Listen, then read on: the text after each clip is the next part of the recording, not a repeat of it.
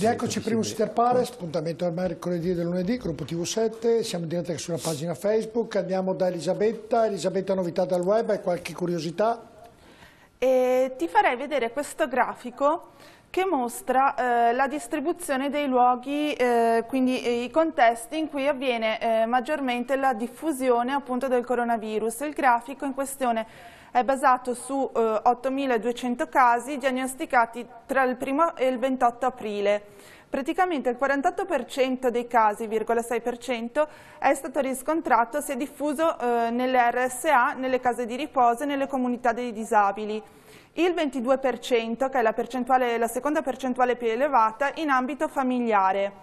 Solo eh, il 9,9% del totale si è diffuso in ambiente ospedaliero e nel lavoro il 3,7% dei casi. Beh, questo è significativo per tutti perché il 3,3% nel lavoro vuol dire che è bassissimo. È molto La interessante. nelle RSA, nelle, nelle, in famiglia, in, in ospedale, questo, questo, questo, ovviamente grafico è molto, molto chiaro, Elisabetta è brava, brava e ce l'hai fatto vedere. Allora andiamo con i messaggi, vediamo i messaggi perché ovviamente ne arrivano moltissimi, ovviamente vi ripeto, cerchiamo di mandarli tutti. Il pezzo del petrolio è bassissimo, perché non cala il costo del carburante e le bollette? Allora è una cosa brutta che il petrolio sia calato tantissimo, questo è per l'economia mondiale, invece l'altra cosa è che non cala per, semplicemente perché qui in Italia abbiamo più accise, più costi di tasse che costo della benzina, ma già tuttora, quindi più di un euro, credo più o meno, non vorrei sbagliare, però eh, tanti soldi eh, sono ovviamente di tasse e delle accise ancora, credo, eh, della guerra, che ne so, ce ne so, dovevano togliere tutti, quelli che sono andati al governo dovevano toglierle tutti, ma ci sono rimaste. Eh, buonasera, mi scusi il disturbo, ma io vorrei sapere se mio marito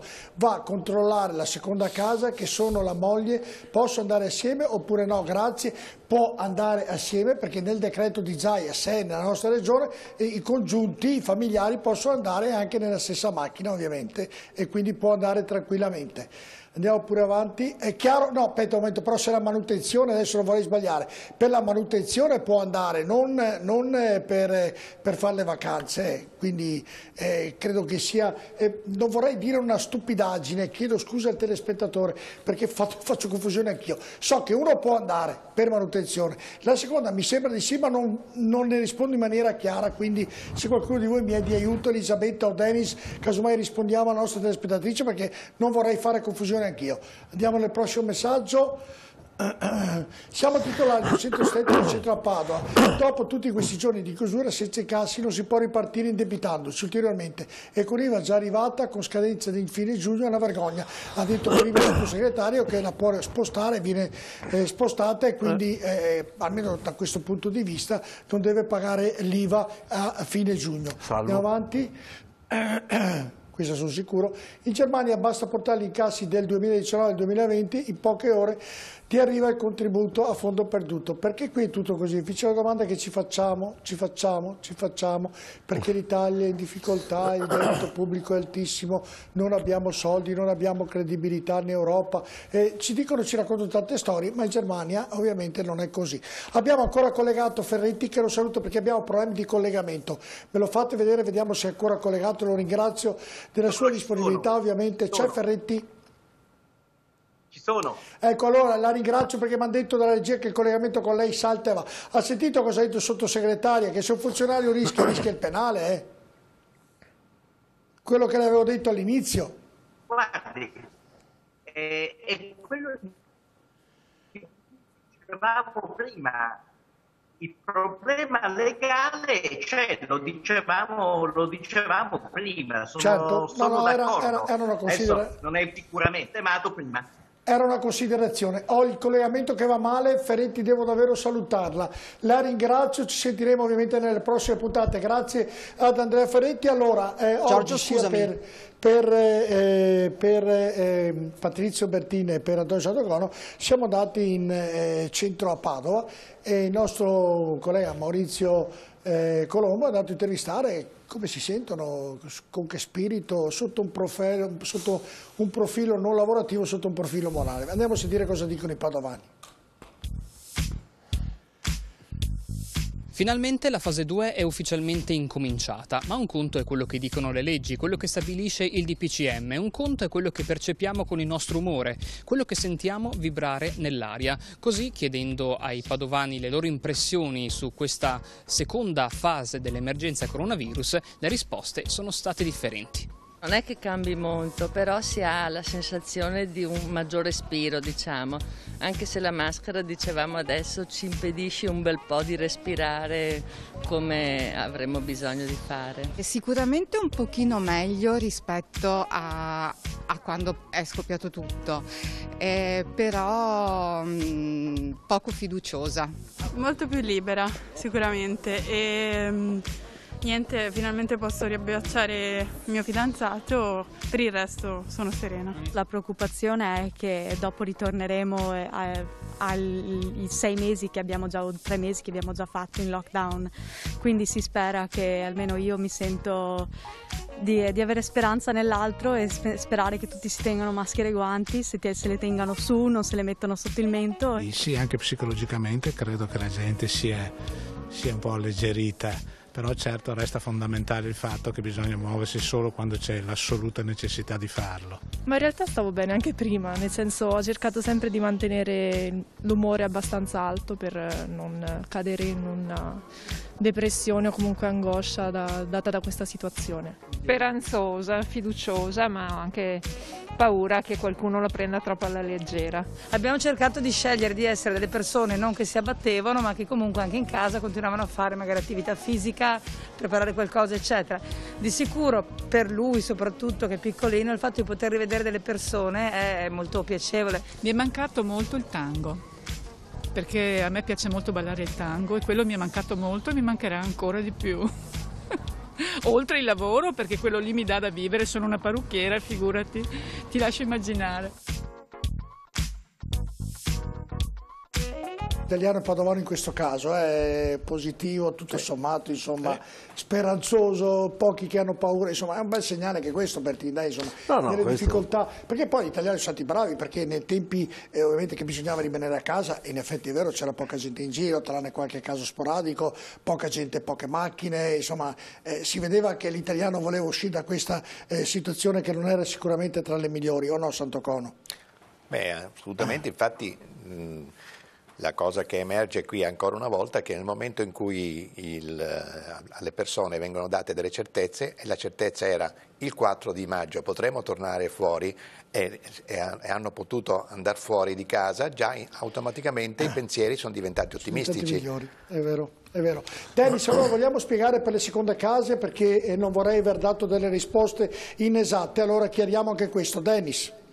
Sì, allora eh, specifichiamo leggendo esattamente quello che è riportato nell'ordinanza regionale di oggi, perché sapete che oggi il governatore Zaia ha firmato una nuova ordinanza, revocando quella che era, che era stata presentata poi nella giornata, eh, nel, fine settimana, nella, nella, giornata di ieri, questo eh, perché ha dovuto aggiungere eh, delle, mh, delle, voci e quindi ha deciso di firmare una nuova ordinanza. Al punto 6 c'è quello che riguarda eh, il cosiddetto spostamento verso le seconde case e altri beni immobili. È consentito, si legge nel nell'ordinanza presso la seconda casa o presso camper, roulotte, imbarcazioni, veicoli, veicoli d'epoca o da competizione in proprietà o locazione nel territorio regionale ai fini dello svolgimento di attività di manutenzione, quindi solo la manutenzione da parte del proprietario o del locatario, quindi anche uno per esempio che ha una casa stagionale in affitto, eh, fatta salva la possibilità di lavori per mezzo di operatori professionali. Lo spostamento può essere effettuato dal proprietario o locatore con i conviventi, Bene, quindi con giusto. tutte le persone che risiedono nello stesso eh, indirizzo, insomma, nella stessa casa. Dennis, grazie, avevo ricordato bene, quindi non ho detto una stupidaggine. A conclusione di questa prima parte andiamo a vedere anche il cibo da asporto come sta andando. Vediamo questo servizio.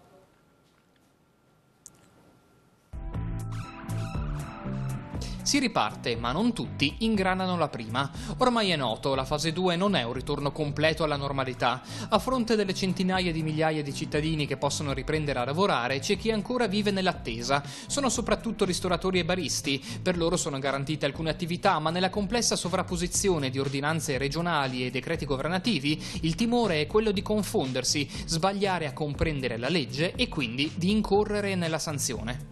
Fino a ieri um, servivamo qualche caffè, cappuccino con la gente che ci chiedeva anche per strada, ma tipo il 25 eh, di aprile che abbiamo aperto la gente solo per bere un caffè o un cappuccino era come avessi dato la vita, sei come in un limbo nel nostro lavoro, nel senso non sai se è giusto o non giusto e alla fine diciamo che non vale la pena tenere aperto. Di sicuro al momento la situazione non è limpida. Nell'ambito del cibo da asporto, ad esempio, il decreto governativo non dispone che debba essere ritirato previa prenotazione, ma l'ordinanza varata dalla Regione nelle ultime ore non mette nero su bianco questo particolare, gettando nella confusione migliaia di esercenti. Una restrizione che il presidente del Veneto Luca Zaia ha però sostanzialmente smentito. Laddove il DPCM non specifica regole particolari garantendo più libertà, va seguito.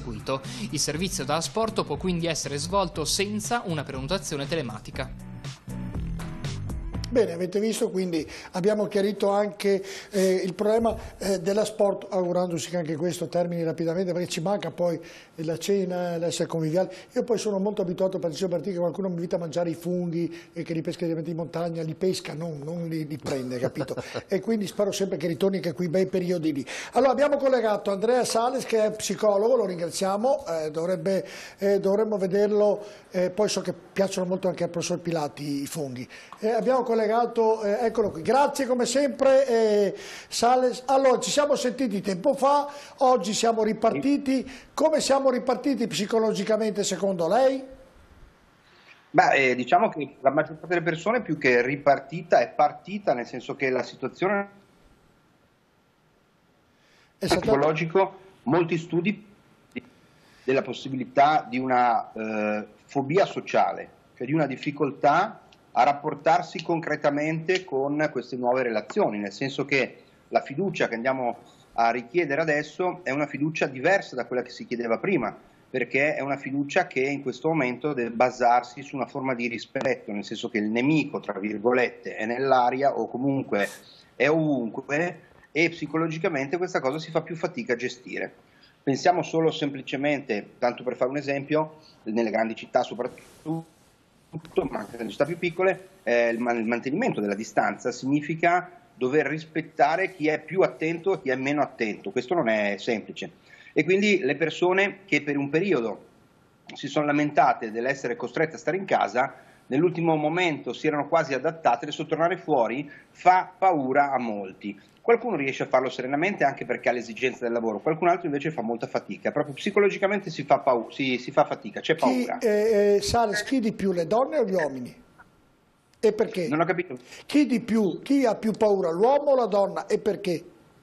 Allora, eh, ha più paura la persona vulnerabile, ha più paura la persona insicura e ha più paura la persona attenta che vede nell'altro poca attenzione. Non è una questione di identità di genere, non è che la donna, l'uomo possono avere più paura perché la, la paura non è legata ovviamente all'identità, al sesso, è legata più che altro alla personalità. Ci sono delle persone che sono più attente e persone che sono meno attente, quindi le persone meno attente possono avere meno paura perché ci pensano di meno.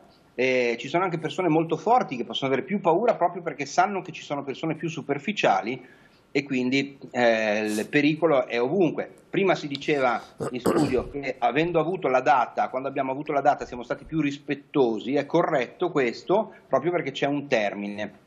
Adesso la questione è che questo termine non è visibile, non è un termine di tempo, ma è un termine di, di eh, arrivo di questo vaccino, ma fino a quel momento dovremmo stare molto attenti e questo è davvero la responsabilità dei cittadini. Senta, al nord, più o meno dico nord perché quello è stato quello più colpito, eh, le persone hanno mh, iniziato abbastanza senza grosse difficoltà a rispettare i protocolli e le regole, e cioè rispettare le distanze, rispettare la mascherina, rispettare eh, quando, eh, le, le, le cose basilari, i protocolli basilari e questo influirà prossima, nei prossimi anni sì e per quanto secondo lei o sarà davvero un, un cambio di abitudini da parte di un certo tipo di popolazione? Beh sì, eh, è un cambio di abitudine perché noi, come dicevo prima, non è che adesso eh, ripartiamo, ci rimettiamo in moto, dobbiamo pensare che è un nuovo modo di rapportarci perché per un po', un po' potrebbe essere un anno, anche un anno e mezzo, Noi dovremmo costruire nuove modalità comunicative. Pensate solo al fatto che non vedremo la bocca, la bocca non la vediamo, non vediamo il naso e quindi sono parti molto espressive del viso. Dovremmo fidarci degli occhi, dovremmo fidarci della parola, dovremmo iniziare a pensare di costruire una società in cui la parola inizia a contare di più, cosa che magari ultimamente aveva perso un po' di valore.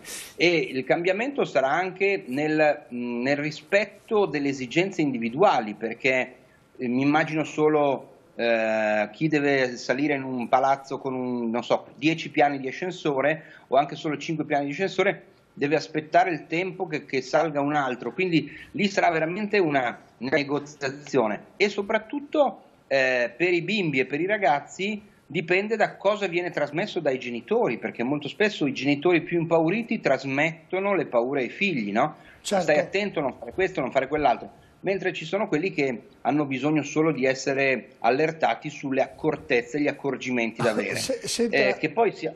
No, no, prego, prego. termini pure, chiedo scusa, termini pure.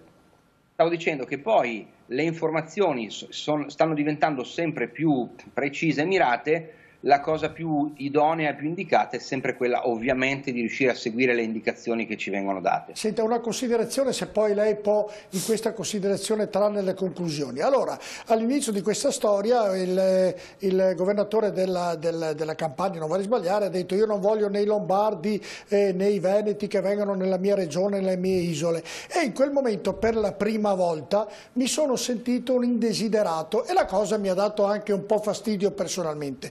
Oggi aggiungiamo che vediamo, come ha detto lei, le mascherine alle persone e quanti di noi hanno detto mamma mia quelli di, eh, delle, delle, di altri continenti che vengono con la maschera non è bella, vogliamo eh, vederli tutti eh, in viso. Non è che eh, qualcuno dall'alto ha detto beh cambiamo le regole, facciamo capire a tutti come si funziona, Qualcuno dall'alto a no, chi fa riferimento? nel senso, ovviamente ho detto, eh, eh, dall'alto vuol dire il virus, eh, indubbiamente. Eh, qualcuno ha ah. detto, beh, un momento, hai visto cosa vuol dire essere indesiderato? Tu che indesideravi gli altri? Hai visto cosa vuol dire portare la maschera che tu denigravi le altre, altre religioni, altre culture? Ecco, adesso certo. tocca anche a noi. E allora una considerazione da parte sua, se me la vuole dare, se c'è una considerazione. Sì, certo, certo, certo. Adesso ho capito, adesso ho capito la sua domanda. La, trovo anche molto interessante questa riflessione, nel senso che più di, tan, più di qualche pensatore, di qualche filosofo anche oggi ha eh, dire, analizzato la questione portando la possibilità di vedere le cose da prospettive diverse, ma questo è un ragionamento che si fa da tanti anni, in fin dei conti noi siamo andati anche in America nei primi del Novecento, essendo noi indesiderati a quel tempo, oggi c'è un, eh, diversa e quindi qualcuno la legge anche in questo modo. Diciamo che l'atteggiamento più intelligente sarebbe riuscire ad avere delle informazioni chiare e precise per poter aiutare davvero le persone, che siano africani piuttosto che contagiati e tutto. Bisognerebbe riuscire a creare delle, eh, delle situazioni sociali dove eh, l'accoglienza non è una, un atto raro, ma diventa un atto di intelligenza, di intelligenza, di generosità, ma anche di opportunismo, perché molto spesso riuscire a eh, gestire dei movimenti, dei movimenti così numerosi di spostamento di persone e tutto, deve essere valorizzato piuttosto che scansionato, se no diventa un problema. E noi quando scansiamo le cose, le scansioniamo in un certo modo, non riusciamo più poi a gestire i flussi, per esempio migratori. No? E allora giriamo la situazione e ci diciamo, ma adesso questa cosa come la viviamo noi? Sicuramente lei ha detto bene, ci siamo sentiti rifiutati e qualcuno facendo una morale, poi è, opinabile questo, facendo una morale dice eh sì, così provi anche tu quello che provano gli altri. Io non credo ovviamente che sia una cosa, uh, come dire, coordinata, organizzata, sicuramente le persone intelligenti, quelle empatiche, possono aver provato effettivamente questa sensazione di rifiuto. Questo può farci riflettere. Grazie Sales, grazie, come sempre molto gentile, grazie. Eh, eh, grazie. si è mai sentito lei un po' rifiutato quando il, il, il Presidente della... Non mi eh, sono mai posto questa domanda. No, però eh, veniva naturale, nemmeno, nemmeno per però eh, ragionandoci beh, comunque sopra, è eh, giusta la riflessione, è giusta che... Io mi sono un po' sì, un po' sì, risentito, magari... eh, così ho detto mamma mia adesso capisco cosa vuol dire per tanti i nostri genitori sì, che andavano all'estero e che andavano in, in Australia e in Svizzera che erano un po' visti male come noi abbiamo visto male male tanti altri Sì, che arrivavano sì. in Italia. E mi sono sentito uno di loro, per un momento così un pensiero nel mio, nel mio cervello. Insomma, Sì, sì, io ho preso magari da tutto quello che è questa pandemia, non sono arrivato a fare un- una riflessione profonda così, però è vera, è una cosa che ti fa pensare, insomma, no? ti fa riflettere. È vero che ci sono delle situazioni in cui certi, certi comportamenti dicono guarda, capisco che magari altri che hanno sono bendati o hanno altre culture, altre religioni, noi ci siamo, li abbiamo sempre magari visti sotto un aspetto un po' critico, ecco, diciamo così.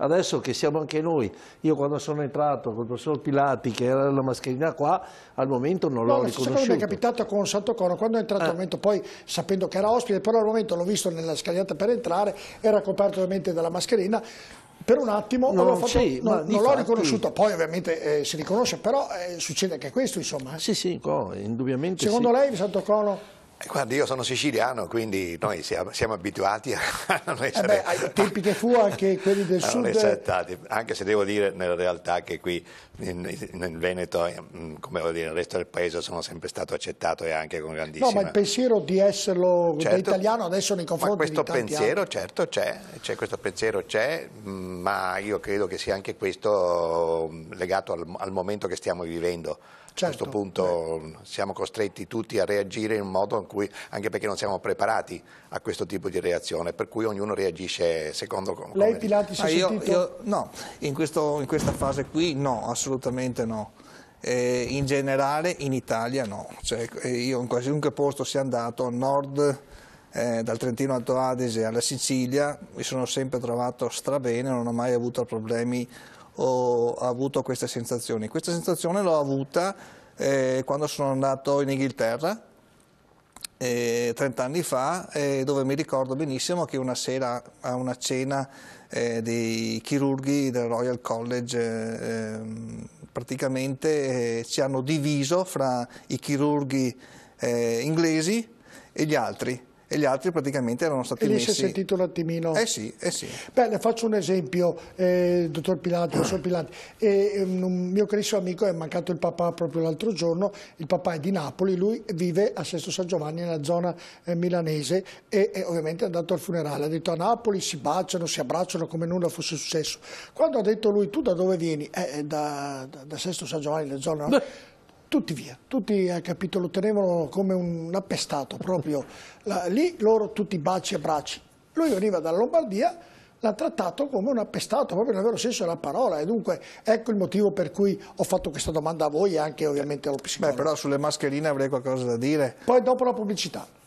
Dopo la pubblic- o vuole dirla subito, è breve? o vuole Sì, cioè subito? nel senso che per quanto riguarda altre religioni sono loro che vogliono avere le mascherine e vogliono tenersi le mascherine, invece noi siamo costretti a tenere le mascherine, c'è un po' diversa la cosa. In che senso, scusi, non ho capito. Altre- alcune religioni, praticamente le Ah, persone... religione, avevo capito regione. Oh, ho capito, ho capito, ho capito, certo, certo, assolutamente d'accordo. La mia era una domanda e per cui in quel momento... Quando siamo il- obbligati. Quando il governatore due mesi fa, un mese e mezzo fa, ha detto non voglio i veneti lombardi, che poi il giorno dopo eh, è stata eh, ovviamente cancellata subito, sono rimasto un po'... Certo. Allora pensiero che tra- tramando a chi mi viene a trovare ospite, a tra poco. Ci sono anche famo-